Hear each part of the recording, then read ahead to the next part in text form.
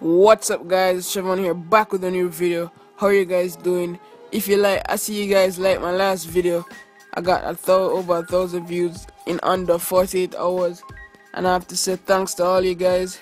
I really support, I mean, I really appreciate the support and everything.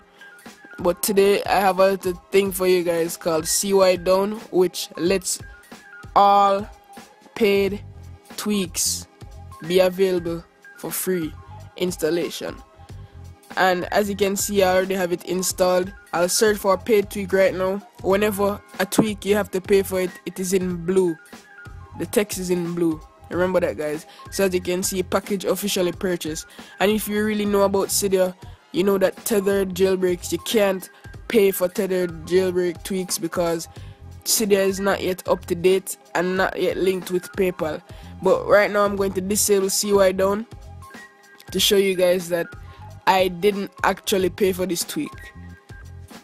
The reason why I'm actually showing you guys this is so you guys can go ahead and install all the paid tweaks because some of you guys are saying you can't get BioProtect as you can see unable to purchase Cydia is not yet prepared to accept money in this version of iOS due to platform still being considered unstable so as you can see right there even if you willingly wanted to purchase the tweak you can't because Cydia is not yet stable.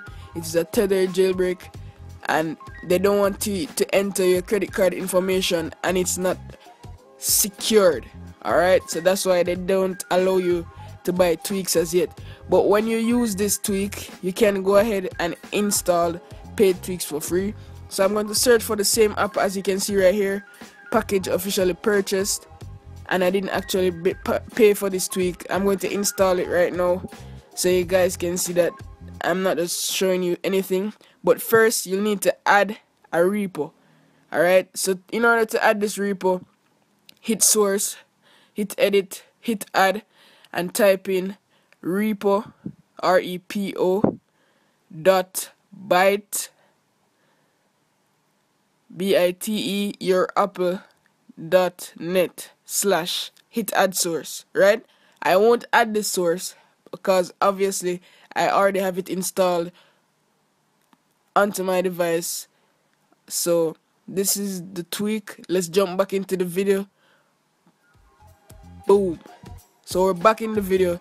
I'm installing backup A to Z right about now to show you guys that it is legitimate things I'm showing you guys alright? So if you guys like this video please give it a thumbs up down below. Comment. Subscribe. Stay tuned. Turn on post notifications. So as I upload a video you'll see everything. I'll be uploading some more videos in the week. So as always guys you know what I have to say? Look more